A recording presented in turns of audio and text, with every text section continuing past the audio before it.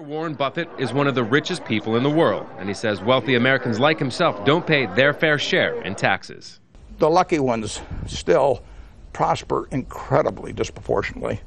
But when it comes to companies, Buffett's own have done rather well.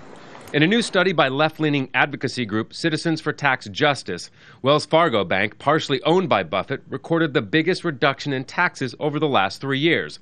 In fact, it got over $600 million in tax rebates. Part of the reason the protesters here at Occupy Wall Street are angry, the advantages that the richest 1% of Americans are afforded, including huge tax breaks.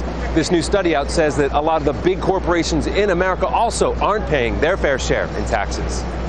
The study looked at 280 of the most profitable American companies and found that they only paid about half of the official tax rate. And 30 of those companies did not pay taxes at all. Included on that list, General Electric. Their CEO, Jeff Immelt, heads up President Obama's jobs creation panel.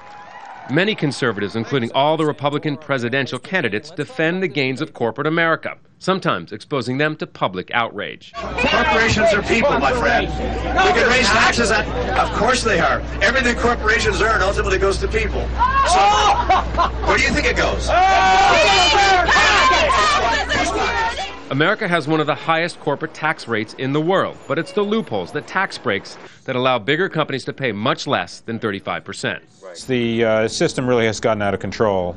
Uh, and for the last 20 or 30 years, and the reasons are twofold. One is Congress passes a lot of stuff, special breaks. The other is uh, as the world kind of as globalization goes on, and you have more communications and everything, everything that actually we're glad to have, where it's becoming one small world, uh, also makes it a lot easier for companies to shift their income to low tax jurisdictions. But for now, even with thousands on the streets protesting, there's no appetite in Washington to close corporate tax loopholes anytime soon. Scott Heidler, Al Jazeera, New York.